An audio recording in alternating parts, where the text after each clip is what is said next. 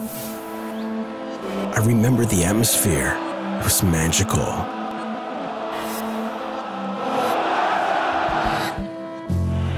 There was tension on the field. I remember Benzema, so close to glory. And Ronaldo's frustration. I remember the amazing play by Alexis, destroying all hope for Real Madrid.